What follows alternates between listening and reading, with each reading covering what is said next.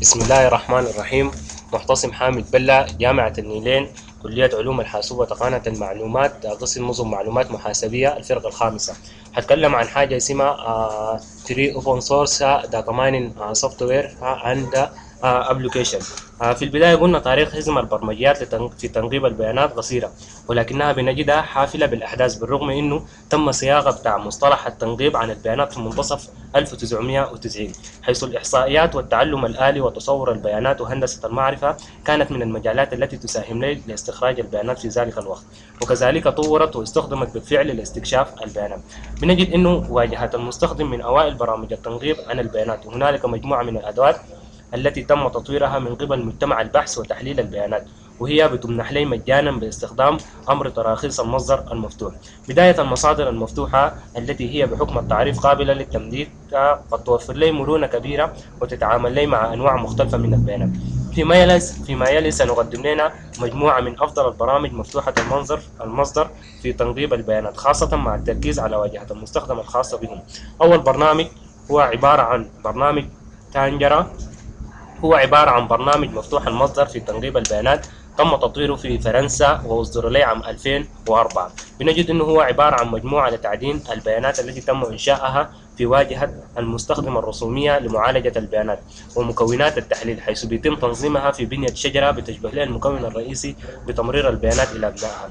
بيتم لي استخدام نموذج التانجرة لزيادة جدول البيانات مع عمود ترميز التوقعات التي يتم لي تمريرها بعد ذلك إلى عنصر التقييم كنا على الرغم من أنه يفتقر إلى التصورات الأكثر تقدما إلا أنه بنجده قوي بشكل خاص في مجال الإحصائيات وبيقدم لي مجموعة واسعة من أحادي ومتعددي المتغيرات المعل... اللامعلمية دي لقطات من تانجرا مع الخطوات التجريبية المعرفة لي في العمود الأيسر اللي بيحمل لي البيانات أو مجموعة البيانات وكذلك بيظهر لي مخطط التشتت في الجانب الأيمن وبيختار لي مجموعة من المميزات بحسب الارتباط الخطي ويختار مجموعة فرعية من الحالات على أساس مجموعة من الشروط. آه بنجد أنه البرنامج بيحسب لي الارتباط ومخطط التشتت لهذه الحالات. آه اللقطة دي بتظهر لي فقط المتعلقة لي بالإحصائيات ومخطط التشتت على الجانب الأيمن. من ناحية التقنيات فإنه بيشمل لي تحليل المراسلات وتحليل المركبات الرئيسيات بنجد إنه البرنامج بتاع تانجرا بيقدم لي تقارير الاحتمالات المشروطة والتقييمات الإحصائية المختلفة.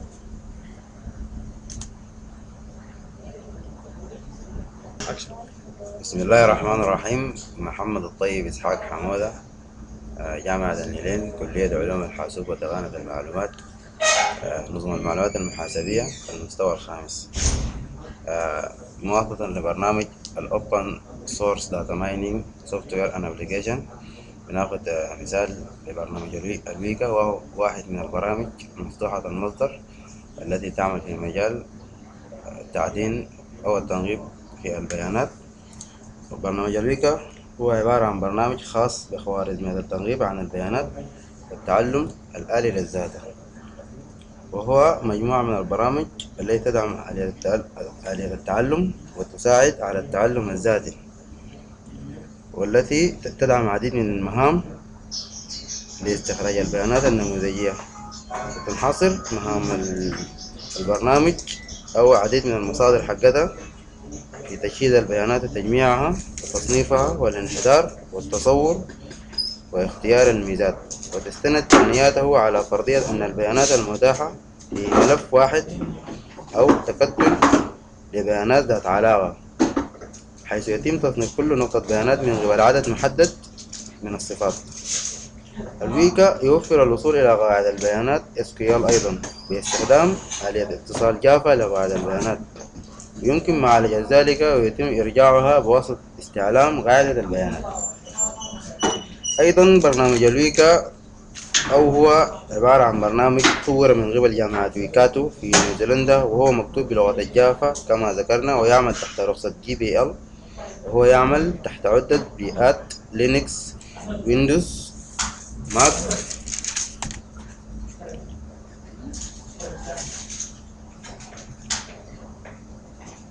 عندنا هنا في الشكل برنامج ال Weka.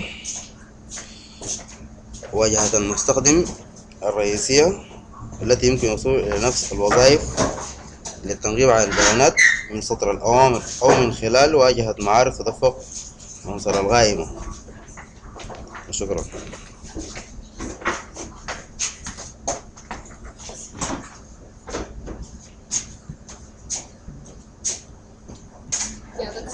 بسم الله الرحمن الرحيم.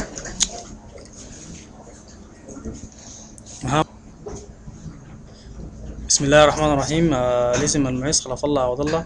آه، جامعة النيلين كلية علوم الحاسوب وتقنية المعلومات. آه، قسم نظ- نظم المعلومات المحاسبية. الفرقة الخامسة أنا هتكلم إن شاء الله عن ال KNIME ودي جزء من ال open open source data mining applications قال لك ال KNIME دي أداة صممت لجمع البيانات التي يت- يتم تشغيلها داخل آه، ال- في التنمية آه، في ال IBM قال لك والبيئة ال application ده آه، سهل جدا لأنه المتطلبات حقته بتعمل لها downloading شنو؟ آه، سهلة جدا. وال KNIME ده مكتوب بشنو؟ بالجافا. And can be extended uh, its library to build in supervised and uh,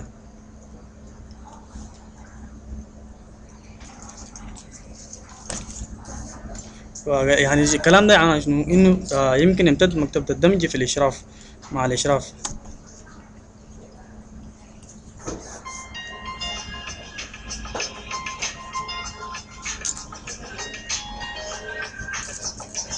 آه، مواصلة للكلام بتاع الكي نايم قلنا هي أداة غير خاضعة للرقابة مع شنو؟ مع خوارزميات التنقيب آه، بالنسبة لخوارزميات التنقيب شنو؟ التي تقدمها الويكا ولكن على العكس آه، والكي نايم دي جاي من الجامعة بتاعت ييل ويتم تنظيم آه، البرامج البصرية تدفق البيانات للمستخدم معاي. آه، ويتم عن طريق شنو؟ سحب العقدة من عقدة إلى مستودع الجزء الأوسط في في المؤشر اللي هو هنا. كل عقدة كل عقدة شنو؟ تؤدي وظيفة معينة مثل قراءة البيانات والترشيح والنمذجة والتصوير أو وظائف مماثلة. على العقدة شنو إنها تعمل مدخلات الإنتاج آه، اللي هو هنا عندنا الموانئ ومعظم آه، وإرسال واستقبال البيانات. في حين أن بعض النماذج آه، البيانات مقبضة مثل الأشجار بتاعت التصنيف بتاعت البيانات. على عكس على عكس العقدة ويكا نعرف إنه نولج فلو ويتم تمييزها بشنو؟ بوضوح.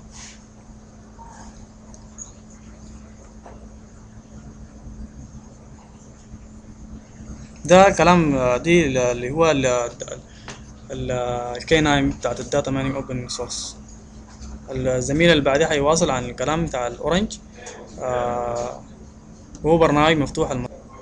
بسم الله الرحمن الرحيم. مودة سيف الدين جامعة النيلين كلية علوم الحاسوب وتقنية المعلومات قسم نظم المعلومات المحاسبية الفرقة الخامسة.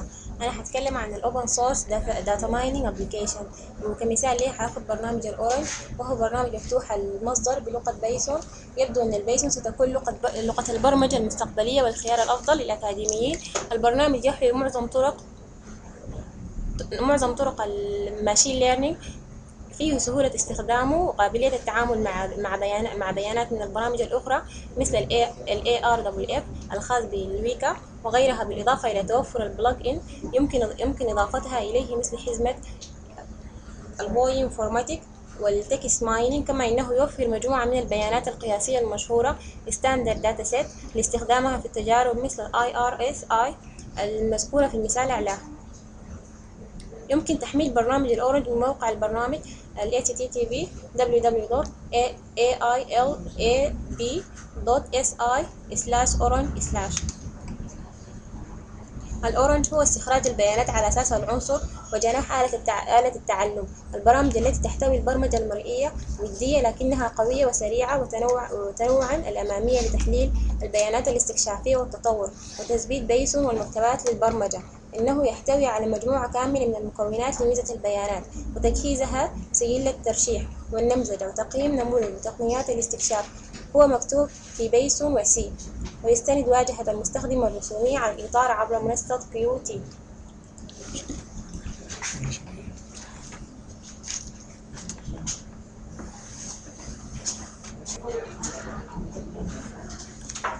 بسم الله الرحمن الرحيم الاسم سالي صلاح الدين جامعة النيلين كلية علوم.